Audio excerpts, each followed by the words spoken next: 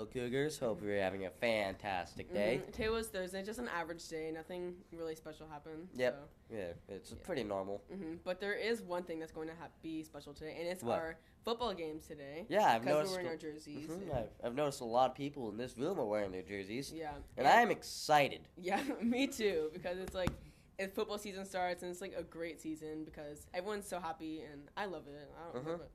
Love it. And do. I noticed that lots of people came to support at the last game, which Yeah. is great. We should do that again. Well, Yeah. more people should Thank come. you for all the support. And uh, speaking of football, Matthew has an interesting use about of technology with football. Hello, Cougars. This week's interesting uses of technology is how technology is used in the NFL. A new way to look at the NFL football games on TV is with the Skycam. The Skycam is a camera held by a wire, remote controlled, and it shows your up close shots. These do have their problems, though. They fall on the field sometimes. And another software is the First and Ten software. If you watch a football game, you will see a yellow line moving on the field. This does not exist in real life, but is really a picture on the TV. The line helps viewers know what is going on in the game and they become familiar with it. With these two inventions, the viewers will have a better viewing experience. Here's Caitlin with prayer. Today I'm going to read some more of your intentions. Someone would like to pray for their mom. We pray to the Lord. Lord, hear our prayer.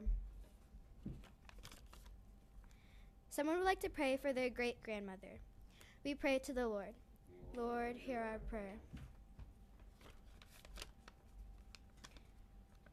Megan Ross in second grade would like to pray for her mom.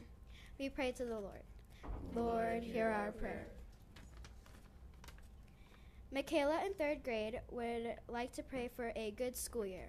We pray to the Lord. Lord, hear our prayer.